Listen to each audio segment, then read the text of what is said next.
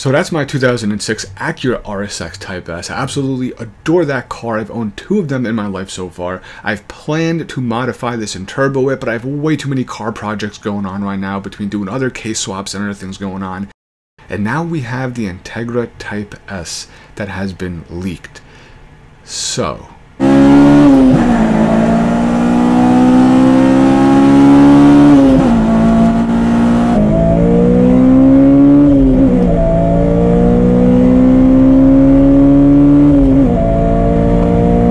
So we kind of knew it was coming because there were rumors and we saw some information of Acura actually trademarking the Integra Type S name. We have a document on screen that's available online to everyone on August 20th of 2021. But it is now official. Acura is producing an Integra Type S. Now I would be lying if I said I wasn't a bit let down from the relaunch of the Integra in general. I was somebody who was excited about it and then kind of let down when I saw it. The car itself I think looks great. I just feel like maybe it didn't deserve the Integra nameplate because it, it, didn't stand out enough from the other cars in the lineup and the other cars that it was potentially replacing. So it really did not catch my attention. But now moving on, here is the photo by, it looks like we have watermarks of all for BWB and all car news that was dropped in the past couple days. You could see those massive triple center exhaust tips, similar reminiscent of that Civic Type R look. We have other photos that I'll be putting on screen as well. Now, like I was saying, I was a little bit let down on the Integra itself. As someone who just purchased a 2006 Acura RSX Type S not that long ago, within the past year, and I was looking to modify it, I felt like this did not attract to me. It might attract to some folks, but as that passionate car enthusiast, it really just didn't do it for me. Now, the Integra Type S is going to be made off a similar platform of the Civic Type R, kind of how the A-Spec current one is built off of the SI, the Honda Civic Si. So I'm excited for this because the Civic Type R is one of the best front wheel drive vehicles for the price. Actually, around the Nürburgring, I believe it held, and I think just recently it's maybe, I believe I was looking at a website, number three. The two other cars are not even sold in America to my recollection. It's either the fastest or was, and is still one of the fastest front wheel drive cars. It just shows how Honda is able to dial in and fine tune both the power delivery and the handling aspect of cars. And this Acura should not be far off from that. It might get a little bit of extra weight gain, just how the Integra has a little bit extra weight than the Civics. But I think if you're interested in an Integra, something that's a little bit more sporty, this might be the option for you. Now, the big question is what power will it make? Will it come with an automatic transmission? Honestly, power, I don't know. Uh, I haven't looked into the whole Civic Acura thing, but from my knowledge, the Integra is probably going to mimic the Type R.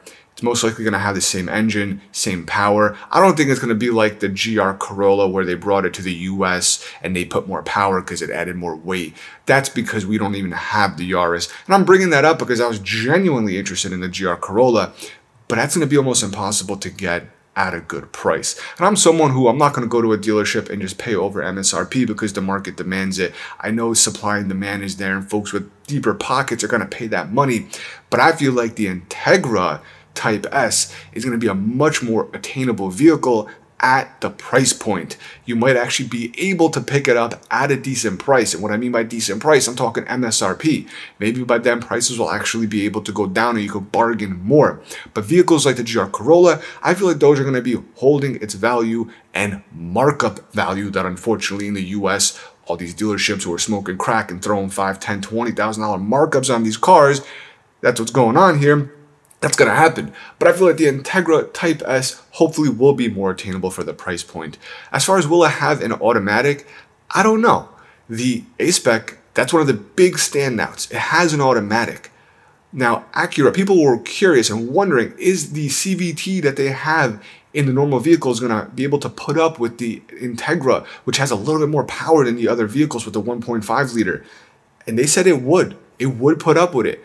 But now pushing it to Type R level powers for the Integra Type S, I'm not too sure. I would like them to stick with a manual only with this one. And it kind of goes against the usual. If you're coming from like the Audi, uh, Volkswagen world, I had a Golf R, those things, when you get a DSG, they could handle a ton more power than the manuals before you need to start upgrading clutches and all that stuff. Where nowadays, these other cars, like the Integra, for example, apparently it's the automatic that's a little more prone to not putting up with too much power from what I've read. So we'll see. But at the end of the day, upgraded clutch, not too expensive if you want to modify it. I know me, myself, if I were to get this car, which I'm really looking into it now, considering the GR Corolla is probably going to be a little too crazy expensive in dealership markups. This car did not catch my attention at all, and I mean the Integra. But now with the Type S, I'm actually genuinely excited as we start getting more information about this vehicle. Yes, it might weigh a little bit more, but you're gonna get some more creature comforts. So my girlfriend just picked up an Acura TLX A-Spec, and it looks really, really nice inside. One of the big standouts was it's got heated and cooled seats. So these are the little things, the extras that you might receive in the Acura that you might not get in the Honda, in the Civic you might get cooled seats. You might get all these little items. Now, I don't even know if the Civic Type R is going to have it or not, but I believe the Acura, obviously being that more luxury sport brand or the Type S being the sporty brand, might have some more of what folks are looking for while just having a tiny bit of a slower vehicle, a little bit heavier, but overall, I think it's going to be an amazing car. I'm really looking forward to it. I want to hear from you guys.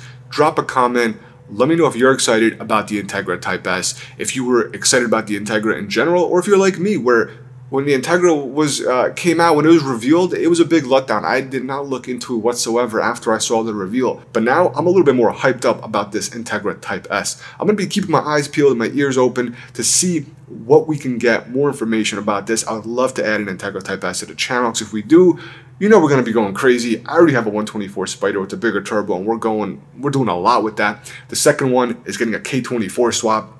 And then the RSX Type S, but we're gonna have to see. You know, I might have to let that one go. I love that vehicle, but I might have to let the 2006 Acura RSX Type S go and uh, get some funds together to maybe start saving up for this one.